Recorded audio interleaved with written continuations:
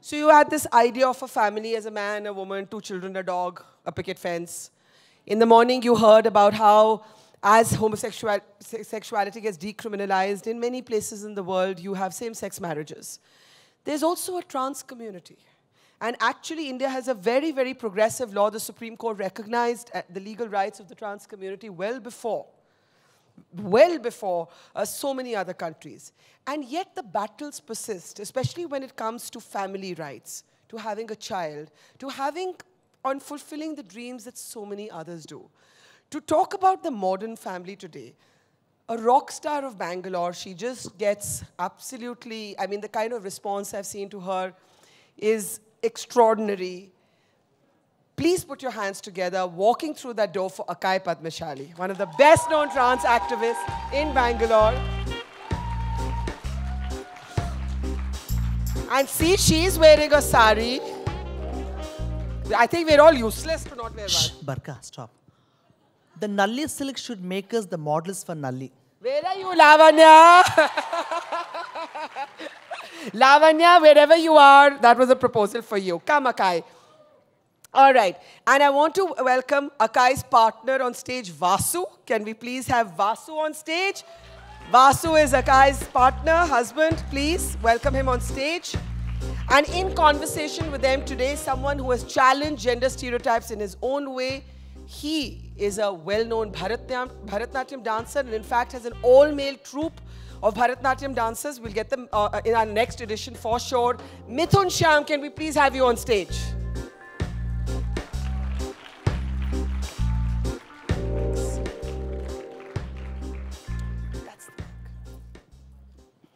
Good afternoon, everyone. It's such a pleasure to be here. It's such a beautiful gathering, and it's a privilege and it's a joy. And I'm so thrilled that I'm getting to talk to Akkai here because of the person that she is and the work that she's doing. So we all know the kind of work she's doing, the activism, and what she stands up for.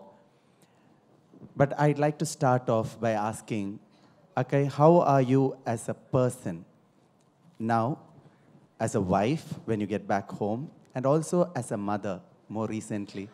So I know you've adopted a child. So how are you as a mother when you get back home? How is it at home? After all that wars and battles that you're fighting out there, how is it when you get back home? How are you as a person? I think the activism continues, you know. Your agitation, your acceptance, your fight for long social justice, social inclusivity, many aspects of it. I think my fight till continues till I die. Why I say this, I think a new child who has come to the family and brought so much of happiness within the family institution, you know. As a person, challenging the stereotype of mother is a patriarchy word. Father is a patriarchy word. Woman, man is a patriarchy word. How do you, how do you challenge those patriarchal words? And I want to be just a human being. I want to be a human, very, very good human being to my child. You know, when people ask me with, with so much of curiosity, what baby is it? What baby is it? Forget about the baby's sex. Talk about baby should be brought in baby's context, as a child context. You cannot be judgmental as an activist deciding my own child's sex to intersex male or female or whatever. You know, I think with that I also have so much of uh, the so-called family slash social responsibility. I'm coping up with that. If I'm aggressive, I shout at Vasu. Sorry, Vasu. That's so wonderful to know. yes. So, anyway, I'm really happy that uh, in the concept of the modern family, that's what uh, the theme was. That's why I thought I should ask you that. So when you said that, I understood uh, that you know we shouldn't be thinking about classifying a child, uh, you know, at such an early age. But then when it comes to sexuality and sex education, at what age did you realize, you know, about your sexuality? Approximately when you were growing up, when did you think you came to know that there is something different? I think the gender is more in terms of social construct. The sexuality is something that you're more oriented to, you know. Correct. My gender expression has been at the age of six, seven, eight years when I expressed the feminine characters before my family, there was so much of negligence, there's so much of resistance not to behave the way you want it to be. Tried to attempt suicide twice at the age of 12 and 13, I did not die. At the age of 16, I built my self esteem, my self respect, my self dignity, and shared with my brother I'm not a boy, I'm a, you know, like I want to be a girl. The first person who accepted me the way I am today. At the same time, my sexuality started at the age of 19 years, you know. At the age of 19, I started to attract to a man sexually, you know. That's how I indulged in the profession of begging and sex work you know, because of there's so much of social stigma, there is so much of social exclusion. How do you fight against that atrocity? I think as the vulnerable, the most vulnerable section in the entire minority section or the community or the movement is the transgender community. I think go back to section 377. It was not for the elitist. It was not for the upper class English speaking section. Always Section 377 was targeted to the vulnerable working class section who are in streets. We are direct effectors of it. I think how do you fight against this? I think today the adoption process has not come so easily. There are so many hijra community, the transgender section in the entire movement who are adopting children. There are people, there are so many incidents like that. People do not want to come to the open closet. I'm not asking people to, you know, they should come open to the closet. But as an activist, I want to show that this society, sometimes my thought could be beyond law. Law cannot decide my identity. Law cannot decide my sexuality. Law cannot decide my family institution. I challenge that. I challenge that. Correct. So in that case, when it comes to a primary level of education, because like you said, a child might understand that he's feeling uh, like a woman inside, like a girl inside at a very young age. So how important do you think is uh, education at the primary level? So maybe at the age of, maybe at first standard or second standard, how important is it for our education system to start introducing sexuality from that age? Because if they're confused, they should at least know there's something like this. So how important is it, do you think? And what is sex here? Anyone in the room, what is sex? An unspoken word, it's an art, it's a curiosity, it's enjoyable, it's for procreation, to protect your religion, culture, class, whatever. How do you teach this to my kids when they're in first standard, second standard? I think remember the 2004 UPA government has unanimously rejected sex education for the country. The most opposition came from the family section. No, my kids cannot be taught sex education in school. I think what is? We're not asking kids to perform the sexual acts or sexual performances, which is good touch, which is a eh, clap, yeah. How do you have your eye contact? Many the so-called men know I'm not against man with penis. The person who should communicate, the communication should be between your eyes and not below that. The below will only belong to my husband. How? A clap, yeah? You, See, see, these are the things that needs to be brought to this forum into the public realm. We are really in a situation, 21st century, we are still struggling like this for sex education. But, you know, see, what is good touch? What is bad touch? If someone comes to you, how do you react to those uh, responses? My own family, my uncle who, you know, like who got harassed me, I did not have the guts to talk about this. But how do you do that? It's a big question. I think India, as the largest democracy, largest population, I think we need to accept, and I am for sex education, and in context, education cannot be on the papers. Education is not about the papers. I think the interaction is about education. How many of us sitting in a room are understanding about sex work, violence, about the issues of class, caste, language discrimination, food discrimination, I think we are experiencing it. How many of you are teaching that? But all these patya pustakas, no, the texts will not speak about this. I think my country should change for it. My country should change for this. Thank you so much. This is something I really wanted everybody to, you know, talk about and discuss. And one more thing, uh, see, we are from the urban community. We are all in Bangalore. We are so privileged because we have access to the internet, we have access to all kinds of information, even in the newspapers, or you just go on net and you get, or we have such forums uh, such as this where in the cities, it's all discussed and we kind of at least have an idea. But then when it comes to the rural areas, I was just talking to your friend Priya also, she's from the rural side. How do you educate them? They have to come to know. If you look at our Puranas, it has always been there. Um, Arjuna becoming Shikhandi, or uh, I mean, Arjuna becoming Brihannale, or about a Shikhandi who's a woman who's become a man. So it is all there, and it was there in the ancient times. But our rural community has completely forgotten about it. Is, it, is that the case? Or how do we bring it to them? How do we communicate? How do we bridge that gap? My father says I belong to the Hindu religion. And Hindu religion has a dual stand. What is dual stand? People go and pray in the sculptures. Hampi, Aihole, Badami, wherever it is. Or Khajuraho, no? It is spelled as Khajuraho, Khajuraho, whatever. People go and do puja for same sexual act. When this practically we are doing this, why don't why people are not accepting this? Arey, mera Bharat can't be so dual standard. I believe it or not, that becomes secondary. But let me say, my Hindu dharma cannot be dual standard.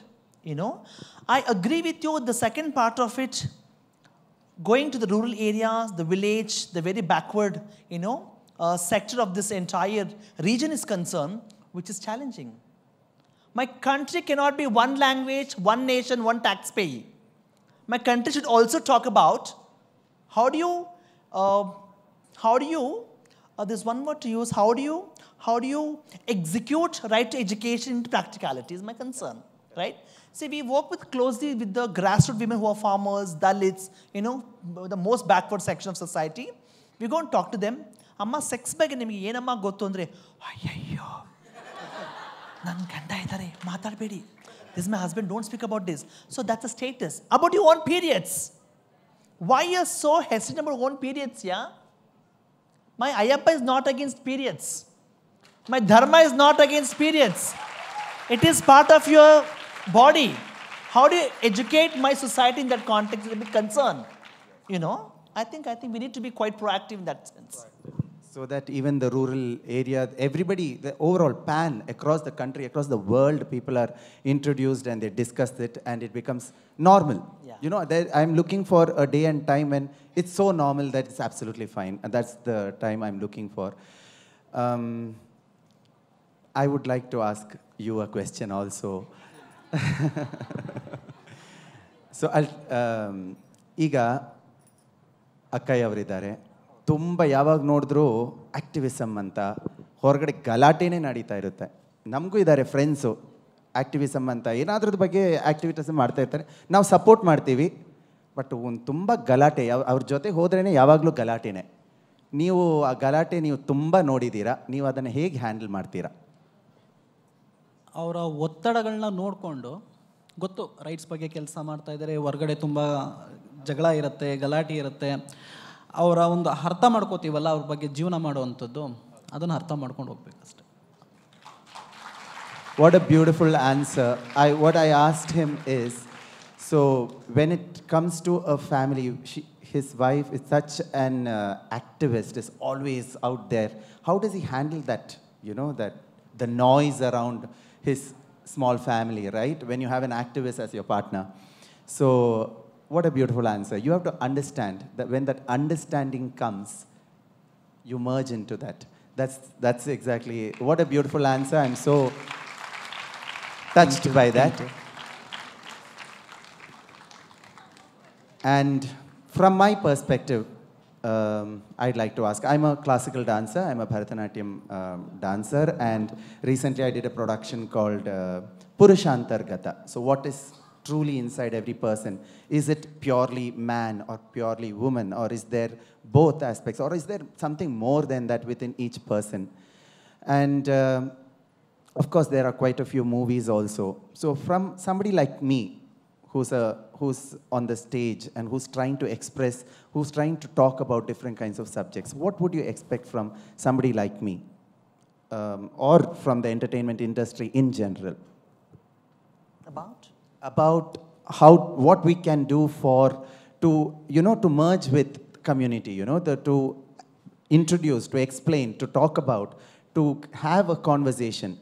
So as an artist, so I know this, this is what you're doing on a day to day basis. What do you expect from somebody from the entertainment industry, if somebody from the artist industry? What do you expect? Do you think about what we can do for you?